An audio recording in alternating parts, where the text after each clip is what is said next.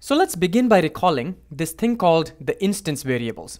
In the case of class movie, there were several of them.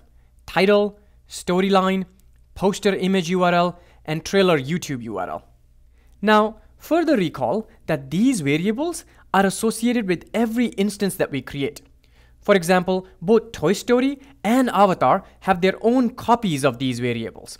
So I could print out Toy Story storyline, and I could also print out Avatar storyline. Sometimes, however, we need variables that we want all of our instances to share. So consider the variable valid ratings for a movie.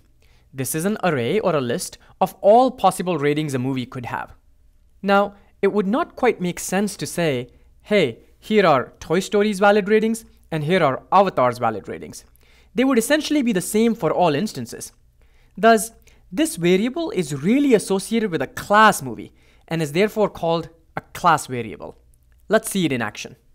So here is the code for our class movie, and behind this Python file is the other Python file we created, where we made a bunch of movie instances. So I'm going to begin by making changes to my class movie. Now here, I will define a variable called valid ratings. Now notice that this variable valid ratings is defined at the level of the class and is outside the init function. In order to start using this variable, we will begin by saving this file first. So next I'm going to go to my other Python file. By the way, this is the file where we are defining a bunch of movie instances. And here I will scroll down all the way to the bottom and comment out any sort of print or output statements. Now I'm doing this so I can focus primarily on valid ratings.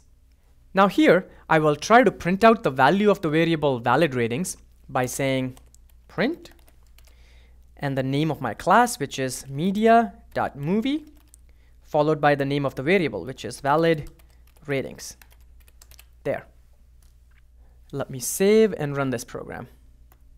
And boom, there it is, a list of all of my valid ratings.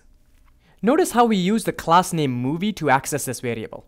This means that all instances of this class movie, Toy Story, Avatar, and others, they can share this list. They can share this list to see if their individual rating is a valid one or not.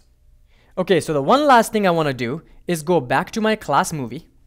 Now notice that the value of this variable valid strings is probably a constant. By that I mean that the value of this variable is probably not going to change every now and then. When we define a constant like this, the Google Style Guide for Python recommends that we use all caps or an uppercase to define a variable like that. I'm going to go ahead and save this file and then go back to my other Python file and change the variable name there as well.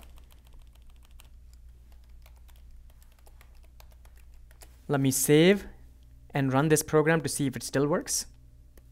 And there it is. I get the correct output one more time.